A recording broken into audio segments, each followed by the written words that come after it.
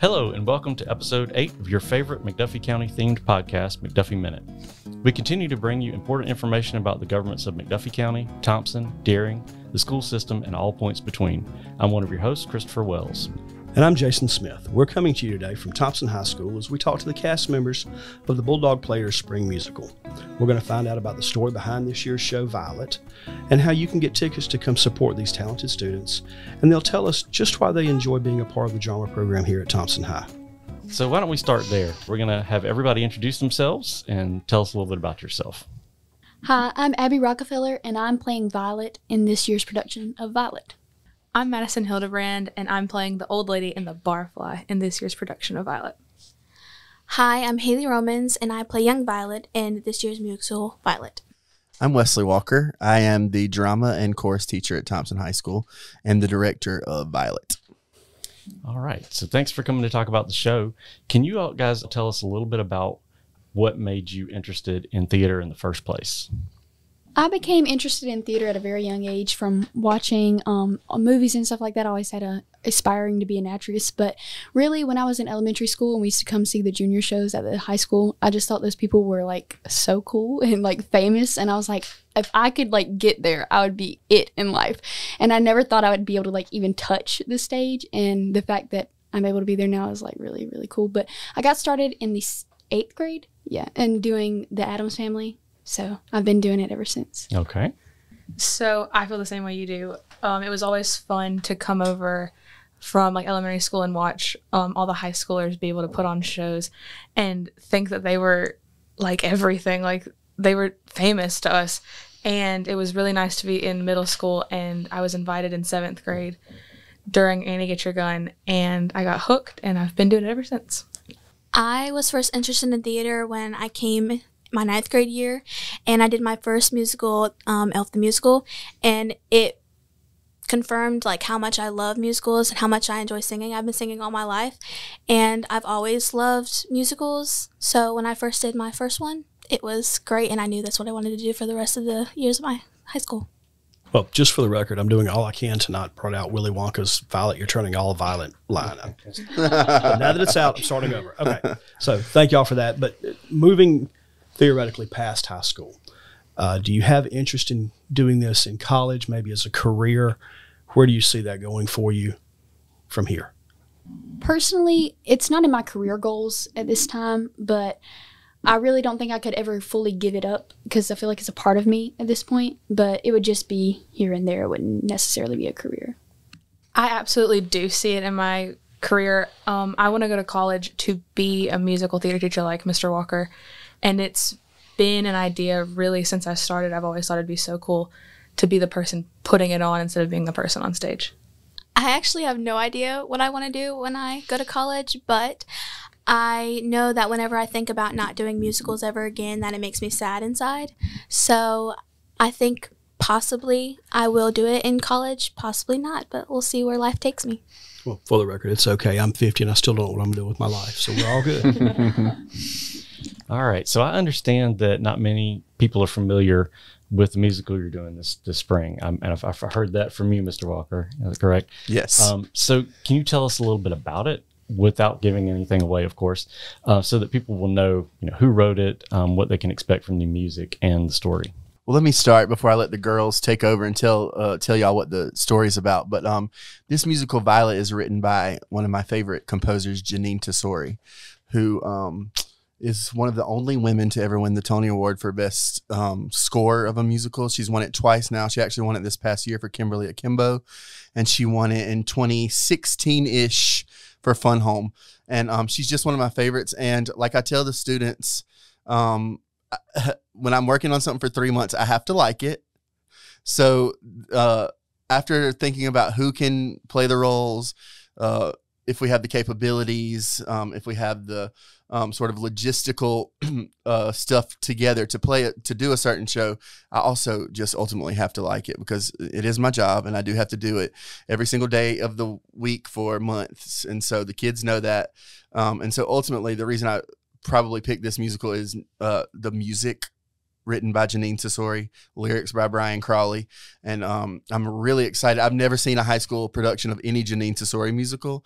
I know that Thoroughly Modern Millie is done in high schools. I've never personally seen one, but the rest of her shows are pretty obscure, and um, this is one of them. And I'm excited to introduce a new story to our community. Anybody else want to share anything about the story behind the, uh, the musical? So this story follows a young girl who has been in a tragic accident with um, she's got hit in the face with an axe as a young child and has left a permanent scar. And there is a TV preacher who claims to be able to work miracles and heal, and she is traveling to go see him to get this scar healed. Wow. Okay. The musical Violet has a really deep meaning within it. It's really talks about the beauty within somebody, regardless of what their outward appearance is, whether it be their race, their color, ethnicity, all those kind of things that we see on the outside. And people have a lot of preconceived notions about these people when really none of that is what matters. It's what matters what you have on the inside. And Violet really focuses on the way that she looks and how she wants to look like all these other people and she hates the way that she has her appearance but she finds out that none of that is really important and i feel like it's a really big message that we need today that it's not what's important it's on the outside but what's on the inside So I'll correct one thing. She won Best Score for Fun Home in 2015, and the reason that's 15, important yes. is what won everything in 2016. Hamilton, Right. yes. Which is what got my daughter interested in theater. Well, Fun Home and Hamilton both were um, musicals that started at the Public Theater, which is where I worked when I lived in New York for about 10 years. And the first thing that happened when I got to uh, New York was I went and saw Fun Home off Broadway at the Public before I worked there. And my friend Billy Brunson and I, who are also a Thomson High School graduate, walked down the street for probably 15 minutes without speaking because the show was so moving and powerful. Um, and in an intimate space like the public theater before it got to Broadway. And then as soon as I got my job at the public, Hamilton opened at the public off Broadway.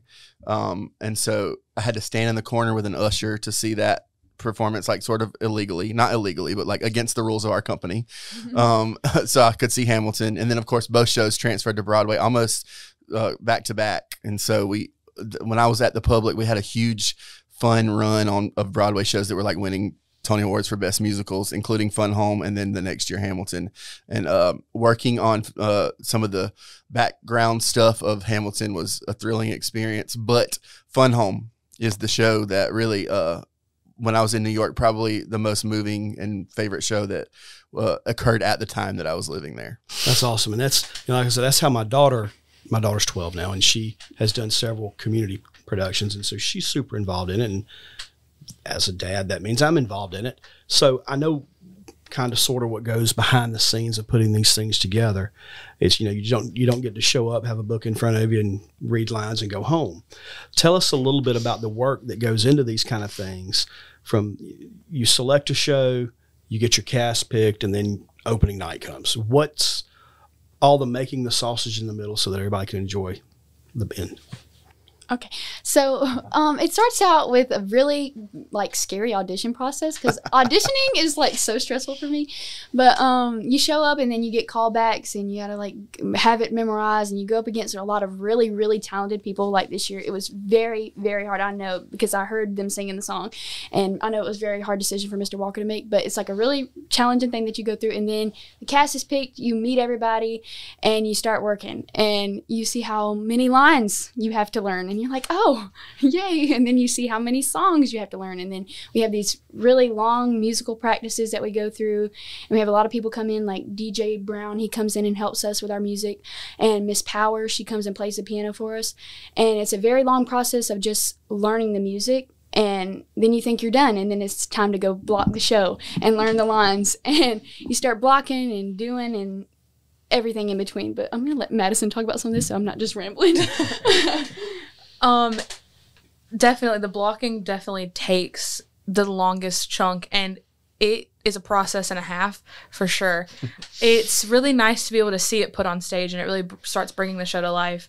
But there are days where it is really, really long and really stressful because you're having to memorize lines and music and where you stand and what you do and your facial expressions all at the same time, and also understand being in the moment and not mem- like just repeating lines but hearing everybody because theater is different every time you do it and then opening night comes and everyone's nervous and everyone's filled with anxiety and it always happens and it always goes well every time. So whenever we have our music rehearsals, we always start from the beginning and we go all the way until the end. First, we will choose a certain amount of songs to do at first, and we will just go over them and over them and over them whenever we have separate parts and like trios or we have a four part. It's we always just have to learn every single part, no matter if we get it that day or not. We're going to go every week. We're going to do the same song over and over again until we get it perfect. And even then we get it perfect, we have to do it over and over again until we get it astonishingly perfect. And I think that once we get it, we just go on stage and we perform. It's really, really fun and also difficult, but we do it. Let me talk a little bit about the stress I put these people through this year because I could not decide what show I wanted to do.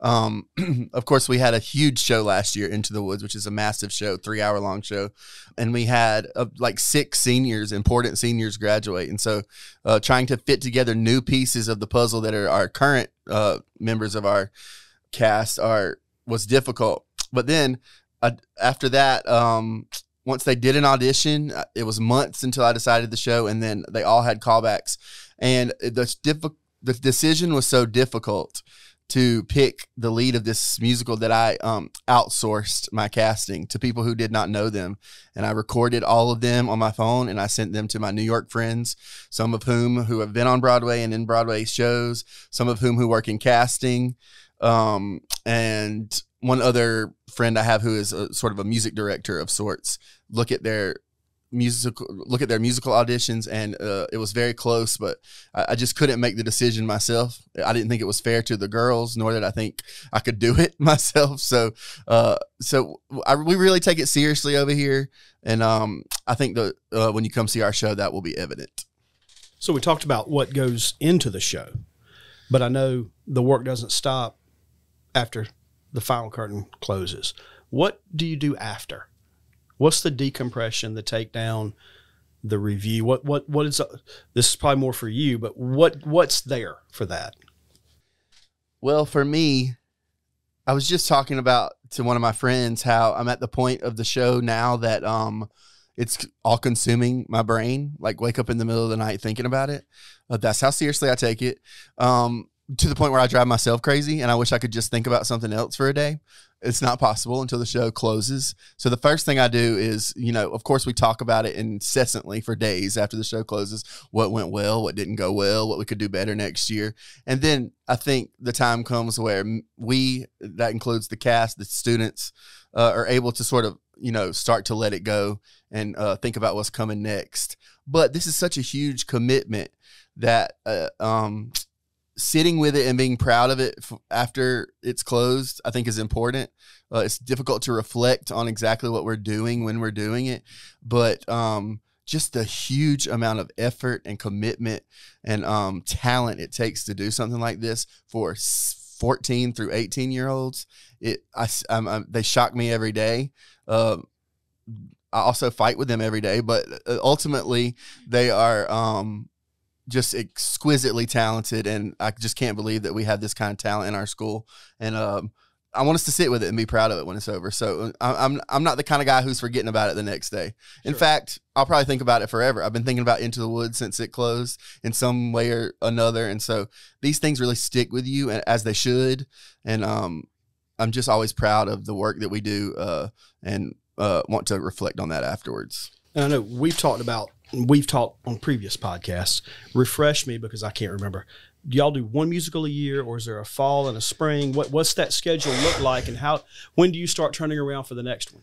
Well, we are kind of flipping things on its head this year because last year we did Elf at Christmas, and I thought it was too close to our one act performance. And so the end of this year, we're planning something, and what what that's going to exactly be, uh, I don't know, and neither do the kids. That's why they're. Say, I just saw a bunch of looks on the table that like, oh, we are. Thanks. Great. They're looking at each other, so it'll be some kind of performance for our elementary schools because I, like I told y'all last year in the podcast, I really want to keep that tradition.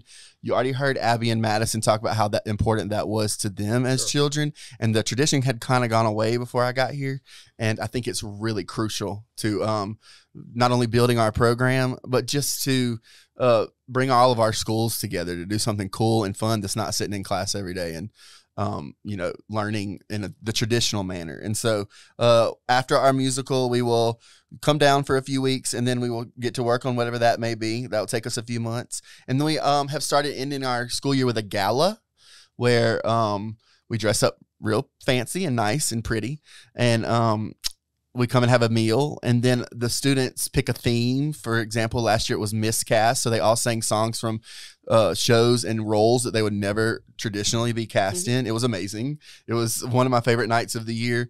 And uh, we'll have a new theme this year and we'll celebrate the season that way and we give out awards like uh, best newcomer and uh, best uh, lead performance in a show or whatever it may be uh, which is just a fun sort of way to end the year. Very cool. Okay, so now is when you get to advertise. Uh, I know there are four showings of Violet this year.